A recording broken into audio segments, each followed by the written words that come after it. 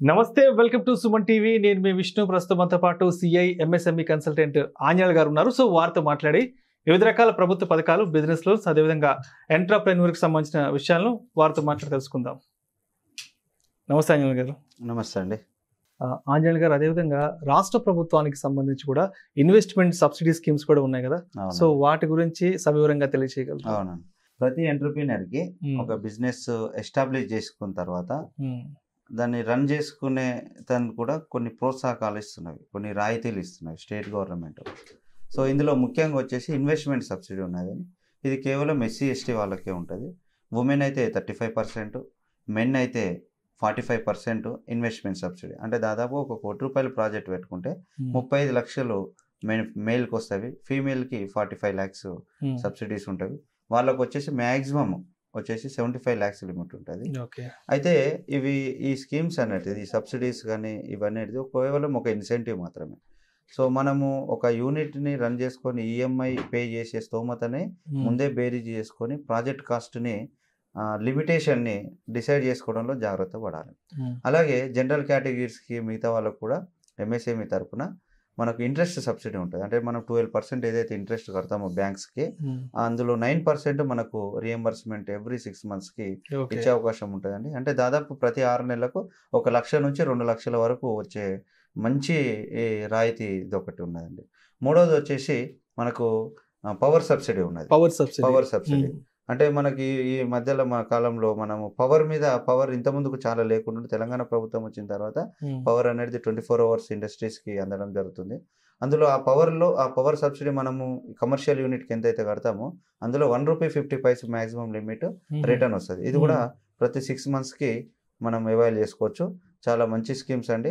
కాకపోతే ఇప్పుడు ఈ ఇన్వెస్ట్మెంట్ సబ్సిడీ అయితే దాదాపు one to one and half year ఎస్సీస్కి ఎస్టీస్కి మాత్రం త్రీ ఇయర్స్ వరకు కూడా వెయిటింగ్ చేయవలసి వస్తున్నది. కొద్దిగా ఇందులో ప్రభుత్వాలు చొరవ చూసుకోవాల్సిన అవసరం ఉన్నది. ఎందుకంటే దాదాపు eight hundred to thousand crores fund investment subsidy pending ఉన్నది అన్నట్టు so according to the latest reports so ఈ అందుకని కూడా ఈ ఇండస్ట్రీస్ సిక్ అయ్యే ఇండస్ట్రీస్ కూడా అవకాశం ఉంటుంది అన్నట్టు. సో కాబట్టి కొద్దిగా ప్రభుత్వాలు ఈ రాయితీలను సరైన టైంలో సరైన సందర్భంలో రిలీజ్ చేస్తే కనుక తప్పకుండా అది ఉంటుంది. అలాగే నేను చెప్పిన పిఎంఈజీపీ స్కీమ్లో ఇన్బిల్ట్ మనకు అందులో ఫ్రంట్ ఎండ్ సబ్సిడీ ఉంటుంది. ఫైవ్ పర్సెంట్ మార్జిన్ మనీ మనం కట్టుకుంటే ninety five percent entrepreneur bank నుంచి మనకు అవైల్ చేసుకునే అవకాశం ఉంటుంది. దాంట్లో ట్వంటీ ఫైవ్ పర్సెంట్ అయితే అర్బన్ రూరల్ అయితే థర్టీ ఫైవ్ పర్సెంట్ సబ్సిడీస్ ఉన్నాయి. సో ఇది సెంట్రల్ కింద ఈ సబ్సిడీస్ మనకు అన్ని కూడా ఆన్లైన్ త్రూనే అవైల్ చేసుకోవడానికి ఉంటుందండి. చాలా మంచి స్కీమ్స్ అలాగే సెంట్రల్ కూడా ఉంటాయి. అయితే దీనికి సంబంధించి వడ్డీ రేట్లు ఏ విధంగా ఉంటాయి? వడ్డీ రేటు ఇప్పుడు ప్రజెంట్ ఆర్బీఐ ఇంట్రెస్ట్ రేట్సే ఉంటాయి. ఇప్పుడు లెవెన్ టు ట్వెల్వ్ మధ్యలో ఫ్లోటింగ్ అవుతుంటుంది. సో వడ్డీ రేట్స్ నేషనల్ వడ్డీ రేట్సే ఉంటాయండి. అదేవిధంగా కాల పరిమితి ఎన్ని రోజులు కాల పరిమితి ఉంటుంది same sixty months and eighty eighty four months ఉంటుంది. ఇవి ఉంటాయి. ఓకే.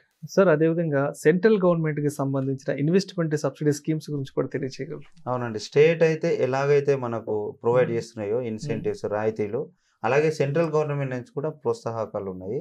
వీటికి సంబంధించి మనం ఏ యూనిట్ ఎస్టాబ్లిషింగ్ చేసిన తర్వాత కూడా మనకు మినిమం వచ్చేసి ఒక ట్వంటీ ఫైవ్ పర్సెంట్ అంటే వెంచర్ క్యాపిటల్ ఫండ్ అనేది లోన్ తీసుకోవడానికి స్టార్టప్స్కి ఎగ్జిస్టెడ్ ఎంటర్ప్రినర్స్ కూడా అప్ టు ఫైవ్ క్రోర్స్ వరకు లోన్ లోన్ సిస్టమ్ ఉన్నది. ఇది వెంచర్ క్యాపిటల్ ఫండ్ కింద ఐఎఫ్సిఐ కింద. అదే విధంగా క్రెడిట్ లింక్డ్ సబ్సిడీ స్కీమ్ అని ఒకటి ఉన్నది. అంటే యూనిట్ ఎస్టాబ్లి ఎస్టాబ్లిష్ చేసిన తర్వాత స్టేట్కి ఏ విధంగా అయితే మనం అప్లై చేసుకుంటే ఈ thirty five percent forty five percent avail చేసుకుంటాము సెంట్రల్ కూడా మనం అప్లై చేసుకున్నప్పుడు ఈ ఎస్ఏ సెంట్రల్ సిఎల్సిఎస్ కింద మనకు ట్వంటీ ఫైవ్ పర్సెంట్ ఫీమేల్కి మెన్కి మేల్కి అయితే ఫిఫ్టీన్ పర్సెంట్ సబ్సిడీ అవైల్ చేసుకోవచ్చు. దీని కాలపరిమితి వచ్చేసి త్రీ మంత్స్ లోపట్లనే అప్లై చేసుకోవాలి. So within three to six మంత్స్లో మనకు రిలీజ్ అవుతుంది. అలాగే చెప్పాను కదా స్టేట్ గవర్నమెంట్ అయితే సబ్సిడీస్ పొందడానికి minimum one and half year waiting చేయవలసి వస్తుందండి. సో చాలా మంచి స్కీమ్స్ అండి ఇవి.